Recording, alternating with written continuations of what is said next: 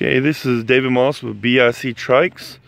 Today I'm going to show a Victory 2000 Victory V92.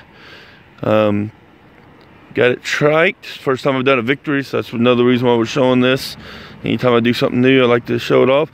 Also, he had the LED lights put on the back.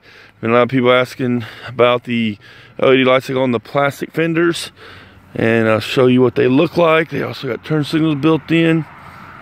As you can see, we'll kick them on in a minute. It's a little cold this morning. Looks really good. Powder coated.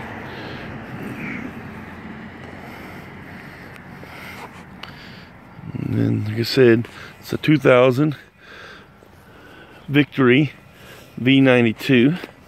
Let me go ahead and kick the key on. Now, you can see what the tail lights look like. If you didn't notice them before, that's the tail lights. And what really nifty is they go bright red, of course, when you hit your brakes, but when you turn the turn signal on,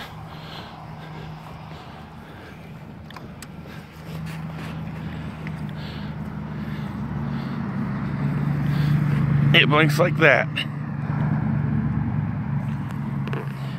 And because the light can't tell, but it is a amber color. Same thing for the other side. And of course I don't I can't hit the brakes to show you it gets brighter, but it does get a lot brighter when you hit the brakes.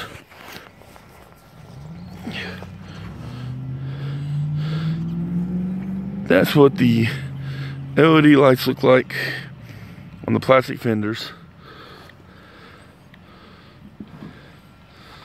Like I said, this is David Moss and showing off a 2000 Victory V92. If you have any questions, comments, or anything, just give me a call at 765 242 6651. Ask for David Moss.